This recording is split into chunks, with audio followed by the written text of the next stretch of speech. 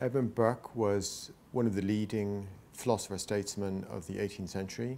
He was born in Dublin in 1730 and he died in Buckinghamshire in 1797.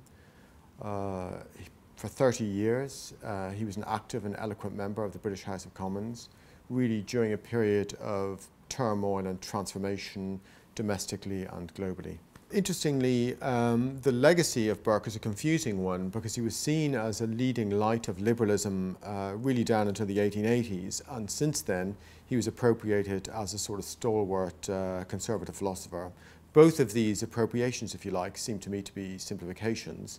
I think his real legacy, um, at least ought to be, on the one hand, the way in which he contributed to uh, the historical philosophical method in approaching politics generally, but also I think he provides sharp analysis for thinking about major elements of our own political world, like, for instance, parliamentarism, uh, constitutionalism, um, the idea of party altogether, um, obviously revolution, but also um, ideas like national allegiance. Burke made two major contributions. Uh, first of all, as an Enlightenment figure himself, uh, but also in dialogue with other uh, thinkers of the period like Montesquieu and Rousseau and David Hume and Adam Smith.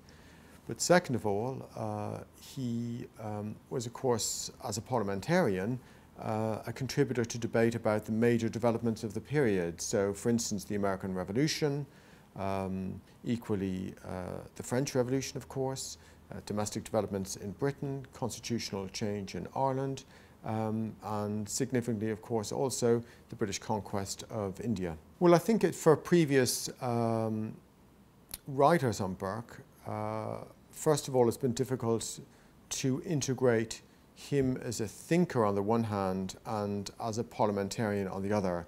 So I think what's different about my book is an attempt to combine political history with intellectual history and therefore bringing the major strands of his career into one analysis.